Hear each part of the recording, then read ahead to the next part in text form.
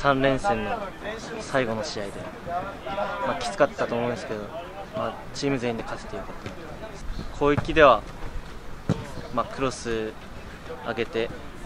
得点につながるようにするのと、まあ、守備では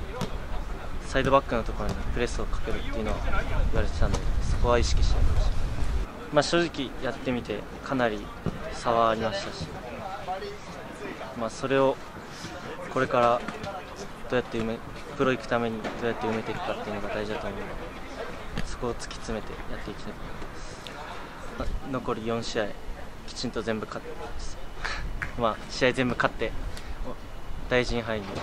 のトーナメントにつなげれるように頑張っていきたいと思います。3連戦の、まあ、しんどい中でしっかり、まあ、それを言い訳にせずに、まあ、チーム全員で戦いたい感じたことがまあ良かったと思います。そうですね、まあ、しっかりまあ相手をリスペクトして、まあ、その得点力があるっていうのも分かって、まあ、今その試合始まる前までは、まあ、上1位だったんで、まあ、しっかりリスペクトしてでしっかり相手の攻撃させないっていうところを、まあ、準備してやってきたんで、まあ、それができたところと、まあ、できないところあったんですけど、まあ、しっかり結果につなげてよかったかなと思います。まあ、九州リーグ、まあ、初ゴールだったんですけど、まあ、ずっと狙ってたんで、まあ、あ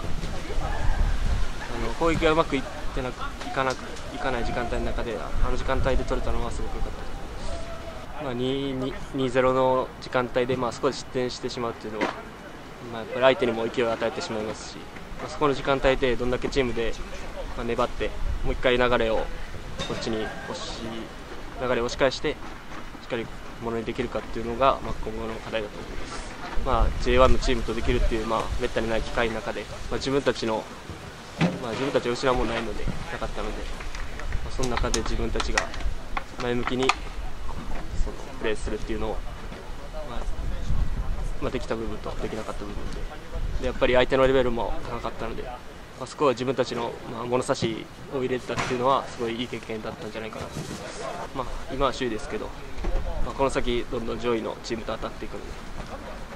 しっかり気を引き締めてもう一回チームでチーム全員で戦っていきたいと思います、まあ、天皇杯とリーグをこの並行して行うっていうそのこの1週間、えーまあ、九国戦から、え、3連戦もしっかり、まあ、リーグは勝ちきれたんで、まあ、よかったと思います、はい。まあ、やっぱりもう去年から皆さんの攻撃の良さっていうのはもう分かりきってたんで、まあ、しっかり前からきつい中でもかけていくっていうのを、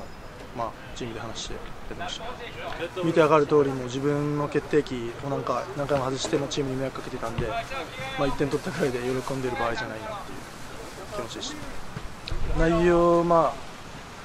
点数つけるとまあ高くはないと思うんですけど、まあ、しっかり勝つっていう目標を達成することができたんで、まあ、そこは評価できるかなと思います、まあ、やっぱり J1 の基準だったりそのリステルの選手のうまさだったり、まあ、そういうのをもう肌で感じることができたっていうのは本当に大きかったかなっていうのがあります、はい。まあ、今まだ、えー、完璧に首位に上ったっていう言えるような状況じゃないんで、まあ、しっかり目の前の試合一つ一つ勝っていくっていうのをチーム全体として、えー、意思統一しながらやっていきたいと思います。